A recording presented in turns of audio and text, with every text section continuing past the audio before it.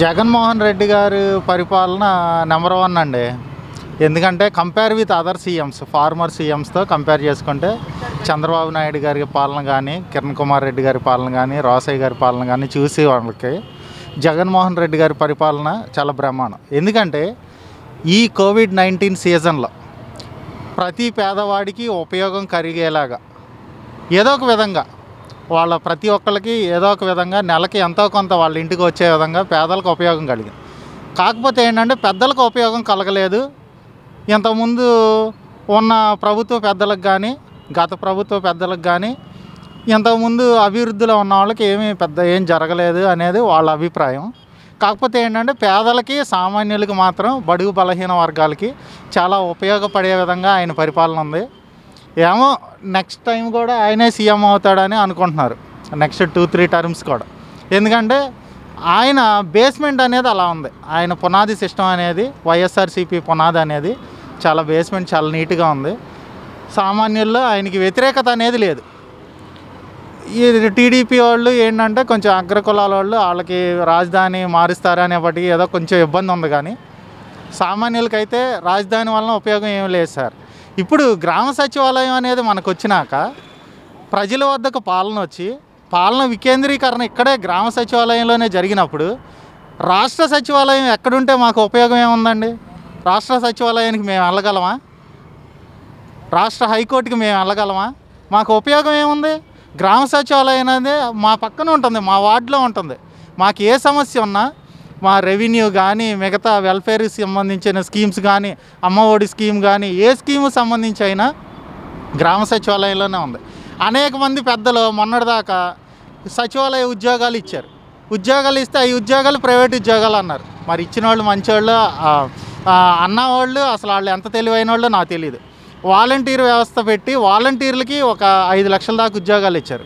వాలంటీర్లు వాళ్ళని తక్కువ చేస్తూ మాట్లాడిన వాళ్ళు ఉన్నారు. ఒక మనిషికి గౌరవం ఇవ్వలేని ప్రతిపక్షం ప్రతిపక్ష నాయకులు ఇంకా గవర్నమెంట్ని ఏ విధంగా చూస్తారండి? ప్రజల్ని కూడా తోలనాడుతూ మాట్లాడుతున్నారు. అంటే ప్రజలంటే ముందు వాళ్ళ గౌరవం లేదు. అందుకనే వాళ్ళని జనాలు ప్రతిపక్షంలో కూర్చోబెట్టారు. ఈ గ్రామ సచివాలయం అనే వ్యవస్థ వలన ప్రతి ఒక్కరికి కావలసిన మర్యాద అందుతుంది. వాళ్ళకి కావాల్సిన పథకాలు అందుతున్నాయి. సకాలంలో సమస్యలు ఉంటాయి సార్. సమస్యలు లేకుండా ఎక్కడ ఉండదు. కనీసం ట్వంటీ పర్సెంట్ ప్రతి వ్యవస్థలో సమస్యలు ఉంటాయి. డెవలప్డ్ కంట్రీస్లోకి వెళ్ళినా అమెరికా యూరప్ ఏ ఏ కాంటినెంట్లోకి వెళ్ళినా కానీ డెవలప్డ్ కాంటినెంట్లో ప్రతి కాంటినెంట్లో సమస్య ఉంటుంది. సమస్య లేని దేశం అనేది ఏమి ఉండదు. ఇప్పుడు అమెరికాలో ఎలక్షన్ జరుగుతున్నాయి. వాళ్ళకే సమస్యలు ఉన్నాయి. మన సుప్రీంకోర్టు జడ్జి లేరని అంటే నిన్న మొన్న నియమించినట్టున్నారు. అంటే సమస్యలు అనేవి ప్రతి శాతం ఉంటాయి. మన రాష్ట్రానికి వచ్చేప్పటికి ఈయన గ్రామ సచివాలయం అనే వ్యవస్థ మంచి వ్యవస్థ. అధికారులు ఎంతో సమన్వయంతో ఎంతో చాలా చక్కగా మాట్లాడుకో చేస్తున్నారు. ఏదైతే రెండు వేల పద్నాలుగు ఎలక్షన్లో చంద్రబాబు నాయుడు గారు ఇదిగో ఇన్ని ఉద్యోగాలు ఇస్తానని ఇంతమందికి ఇది చేస్తానని పేదలకి డాక్రా మహిళలకి రైతులకి ఇవన్నీ చేస్తా అన్నాడు. అవన్నీ జగన్మోహన్ రెడ్డి గారు యాజ్ ఎ సీఎంగా ఇప్పుడు చేస్తున్నాడండి. చంద్రబాబు నాయుడు అనే- అనే అతను సీఎంగా ఫెయిల్ అవడం వల్ల ఆయన ప్రతిపక్షంలో తోసి ఈ రోజున జగన్ అనే అతను చాలా నెమ్మదిగా చాలా ప్రశాంతంగా. ఈ రోజున ఆయన ఏ పథకం చేసినా కానీ ప్రతిపక్షం వాళ్ళు ఆయన తోలనాడుతూ ఉన్నారు తిడతా ఉన్నారు. ఆయన ఏం పట్టించుకోవట్లేదు. ఆయనకి ప్రజల సంక్షేమం ముఖ్యం ప్రజా శ్రేయస్సు ముఖ్యం. కాబట్టి ఆయన హ్యాపీ పనిచేస్తున్నాడు మేము కూడా ఆయన సుఖశాంతులతో మా రాష్ట్రాన్ని ఇంకో ముప్పై ఏళ్ళు పరిపాలించాలని ఆ దేవుణ్ణి కోరుకుంటున్నాం. కరోనాలో ఫెయిల్ అయ్యారంటే ఎలా ఫెయిల్ అయ్యారు సార్? టెస్టుల పరంగా ఫెయిల్ అయ్యారా? మీరు చెప్పండి. కరోనా టెస్టుల్లో మన దేశంలోనే అగ్రగామి స్థితిలో ఉన్నది ఆంధ్ర రాష్ట్రం. అదే కరోనా టెస్టులు సరిగ్గా చేయకపోతే ఈ పాటి పక్క రాష్ట్రం తెలంగాణ వాళ్ళు ఉండేవాళ్ళ. ఒకరోజు as per record Telangana Telangana health minister అన్నాడు ఇన్ని కేసులు ఎలా పెరిగిపోయినాయి? కర్నూలులో పెరిగినట్టు పెరిగిపోతాయి మన తెలంగాణలో కూడా అన్నాడు. ఈరోజు వాళ్ళ పరిస్థితి ఏంటండి? టెస్టులు చేయలేని పరిస్థితి. ఈరోజు రెండు టెస్టింగ్ సెంటర్కి వెళ్దాం. మా గుణదల ప్రాంతంలో బిషప్ గ్రాసీ హై స్కూల్ అనే చోట టెస్టింగ్ సెంటర్ జరుగుతుంది. లైన్లో నుంచుని ఎవరు అవసరమైన వాళ్ళు ఎవరైతే రోగ సిమ్టమ్స్ ఎవరికైతే ఉన్నాయని అనిపిస్తుందో వాళ్ళు వెళ్ళి స్వచ్ఛందంగా వెళ్ళి చేయించుకుంటున్నారు. ఎవరికి ఎటువంటి ఇబ్బంది లేదు. నెక్స్ట్ మూడు మాస్కులు మాకు ఇచ్చారు మనమేమో మనం ఎదగడానికి రాజధానికి వచ్చేవాటికి మనం ఎదగడానికి మన తాతలు ఎక్కడో పుట్టారు. మనం ఎక్కడికో వచ్చి పని చేసుకుంటున్నాం. మన పిల్లలు ఎక్కడికో వెళ్ళి పనిచేస్తున్నారు ఈ రోజున దేశాలు వెళ్ళి చదువుకుంటున్నారు విదేశాలు వెళ్ళి చదువుకుంటున్నారు. చంద్రమండలంకి వెళ్ళి కాలు పెట్టి అక్కడ నేను అభివృద్ధి సాధించాను దేశంలో అని చెప్పుకుంటున్నారు. అంటే మన అభివృద్ధి చెందడానికి దూరం వెళ్ళొచ్చు కానీ రాజధాని మాత్రం అక్కడ దూరం వెళ్ళకూడదు. మరి అలాంటప్పుడు అమెరికాలో వెళ్ళే వాళ్ళు వీళ్ళందరిని ఆపేయండి. ఎందుకు? మనకు అభివృద్ధి అవసరం లేదు. కాకపోతే చంద్రబాబు మామూలుగా రా మా జగన్మోహన్ రెడ్డి గారికి వచ్చేప్పటికి కరోనా విషయంలో నెంబర్ వన్ పనిచేస్తున్నారండి ఆయన నిజంగా పని చేయలేకపోతే ఆయన ఈ పాటికి ఎవరు ఊరుకునేవాళ్ళు కాదు. సామాన్యులు ఊరుకునేవాళ్ళు కాదు. సామాన్యులకి రేషన్ ఇవ్వడంలో కానీ వాళ్ళని పట్టించుకోవడంలో కానీ మూడు మాస్కులు ఇవ్వడంలో కానీ చక్కగా సక్సెస్ అయ్యాడు ఆయన. ఆయన్ని ప్రశ్నించే ప్రతిపక్షాల వాళ్ళు నిజంగా ప్రతిపక్ష నాయకుడు ఎక్కడ ఉన్నాడండి? మన రాష్ట్ర ప్రతిపక్ష నాయకుడు? ఆయన రమ్మనమనండి ఆయన అడగమనండి ఇదే మాటనే. మీరు ప్రశ్న అడుగుతున్నారు కదా. ఏమండి? ఎక్కడ ఫెయిల్ అయ్యారు సార్? ఇదిగో ఈ రోడ్డు ఒకసారి చూపించండి.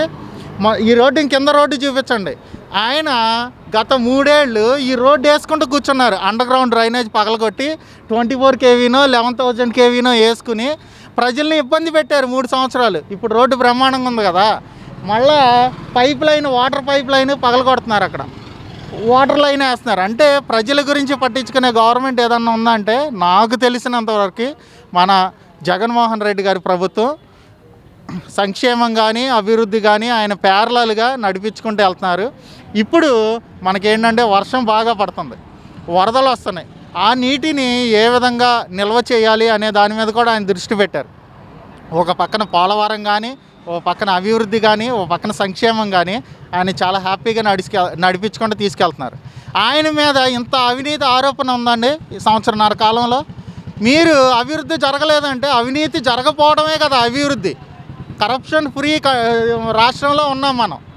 అంత మంచి నాయకుడిని ఈయన చెడ్డ నాయకుడు అని చెప్పడానికి మీ దగ్గర అధికార అధికారం కానీ ఏమైనా ఎవిడెన్స్ ఉంటే చూపించండి. అంటే అది ఆరోపణ మాత్రమే. మరి పద్నాలుగు నెలలు జైల్లో ఉన్న వాళ్ళని ఏమైనా చేయలేకపోయారు కదా మీరు? మీరు ఏమి చే ఎవిడెన్స్ ఉండాలండి. ఇది మనం ఒక కోర్టు పరిధిలో ఉన్నాం. కోర్టు పరిధిలో నడుచుకుంటూ వెళ్ళేటప్పుడు సాక్షులు అనేవాళ్ళు కావాలి. ఇప్పుడు ఎవరన్నా ఇప్పుడు ఎవరన్నా నా మీదకి వచ్చి నేను మాట్లాడేటప్పుడు నన్ను కొట్టారనుకోండి నేను వెళ్ళి కేసు కట్టాలంటే నాకు ఇద్దరు లేక ముగ్గురు సాక్షులు ఉండాలి. ఇదిగోండి పలానా అతను ఇతను కొట్టాడు అని. ఏది ఆయన అవినీతి చేసిన దానికి సాక్షులు ఎవరు?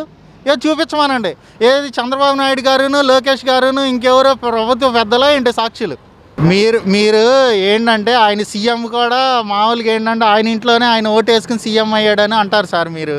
ఎందుకంటే టీ పొడి కాఫీ పొడి పాలు అన్నీ కలిపితేనే టీ అయ్యిద్ది టీ పొడి పంచదార అన్నీ కలిపితే టీ అయింది కానీ మీరేంటంటే పాలు ఒకటే చేసేసి టీ అయిపోయింది అంటే కుదరదు. యాక్షన్ అంటే అందరూ పనిచేస్తారు అంటే మీ మీరు చెప్పిన మీరు చెప్పింది ఎలా ఉందంటే ప్రజలు ఎవరు ఓటేయకుండా ఆయన సీఎం అయిపోయాడా? చెప్పండి. ప్రజల్లో వ్యతిరేకత లేకుండా చంద్రబాబు నాయుడు గారు ప్రతిపక్షంలోకి వెళ్ళారా? అబ్బో అంత జిమ్మిక్కులు నిజంగా సీఎంగా ఉన్న అతను చంద్రబాబు నాయుడు గారు అంత పెద్ద జిమ్మిక్ మేకర్ ఆయన ఆయన లోకేష్ బాబు గారు అసలు మామూలుగా ఆయన ఒక కార్పొరేటర్ కూడా అవ్వకుండా మినిస్టర్ అయిన స్థితి అయింది. నాకు తెలిసి బాగా స్మార్ట్గా ఎదిగిన వ్యక్తి ఎవరన్నా ఉన్నారంటే లోకేష్ గారే. లోకేష్ గారి కన్నా నిజంగా అంత పెద్ద గొప్ప నాయకుడు అయిన వాళ్ళు ఎవరు లేరు. అందరూ ఇప్పుడు జగన్మోహన్ రెడ్డి గారు ఒక ఎంపీగా పనిచేశారు. ఆయనకి ఒక పార్లమెంటు పరిధిలో ఎలా పనిచేయాలి ఏంటి తెలుసు. ఆ తర్వాత ఆయన ఎమ్మెల్యే గెలిచారు. ఆ తర్వాత నియోజకవర్గాన్ని చూసుకున్నారు ఆ తర్వాత రాష్ట్రాన్ని ఈ రోజున రాష్ట్రాన్ని అభివృద్ధి పదంలో ముందుకు నడిపించే నాయకుడు ఆయన. ఆయన నిజంగా ఈ రోజున బీజేపీ వాళ్ళు కానీ తెలుగుదేశం వాళ్ళు కానీ జనసేన వాళ్ళు మాట్లాడుతున్నారో లేదో తెలియదు కానీ మత రాజకీయాలు కుల రాజకీయాలు చేసి ఆయన ఏదో ఒక పెద్ద భూతంలా చూపిస్తున్నారు. ఏ రోజున జగన్మోహన్ రెడ్డి గారు అనే అతను బయటకు వచ్చి కులాలను కించపరిచేలాగా కానీ మతాలను కించపరిచేలాగా కానీ ఒక్క మాట కూడా మాట్లాడలేదు. ఆయన నిజంగా ప్రజల పక్షాన ప్రజల సమస్యల గురించే ప్రజా సంక్షేమం గురించి పాటుపడే వ్యక్తి. ఏముంది సార్? వచ్చి మళ్ళీ జగన్ గారిని అడిగితే వాళ్ళకి మంచి నాయకుడిని ఇస్తారు. ఎలాగే మన లోకేష్ బాబు గారికి పంచాయతీరాజ్ శాఖ ఎలా ఇచ్చారో అలాగే దాన్ని కూడా సీఎం గారి దగ్గరికి వెళ్ళి అడగమనండి. ప్రతిపక్ష నాయకుడిని కూడా ఆయన ఏర్పాటు చేస్తాడు. ఏంటి సార్ మీరు మంచి జోకులు వేస్తారు పొద్దు పొద్దున్నే? అంటే ఉంటే ఉంటే మినిస్టర్గా చేసిన అతను ఒక సీఎంని ఎలా మాట్లాడాలి? ఒక ప్రతిపక్ష నాయకుడిగా కానీ ప్రతిపక్ష పార్టీగా కానీ ఏ విధంగా నడుచుకోవాలనే తెలియని వ్యక్తి ఏం చేస్తాం సార్? ఆయన సీఎం గారు ఏ పని చేసినా కానీ ఆయన్ని తోలనాడుతూ ఆయన ఇబ్బంది పెడుతూ ఏదో ట్విట్టర్లో గాన మాట్లాడితే సరిపోద్దా సార్? నెక్స్ట్ టైం మా ఓటుని ట్విట్టర్లో ఏమంటారా? మేము కూడా. ఆయన ఇంకా రానవసరంలా మా దగ్గరికి. ఎందుకంటే we're we're in Lokesh free state Lokesh గారు మాకు ఆయన నాయకత్వం అవసరం లేదు. జగన్ గారు బ్రహ్మాండం చేస్తున్నారు. ఆ జగన్ గారిని మేము సంపూర్ణంగా మా వంద పర్సెంట్ నమ్ముతున్నాం హార్ట్ఫుల్గా ఆయనే నాయకుడిగా ఉండాలి. ఆయన కుటుంబం ఆయన ఆయన బిడ్డలు సంతోషంగా సుఖంగా మా రాష్ట్రానికి ఇంకో ముప్పై ఏళ్ళు పరిపాలించాలని దేవుణ్ణి కోరుకుంటున్నాం. ఈ వీడియో గనక మీకు నచ్చినట్లయితే లైక్ చేయండి షేర్ చేయండి. మరిన్ని వీడియోస్ కోసం మా ఛానల్ను సబ్స్క్రైబ్ చేయండి.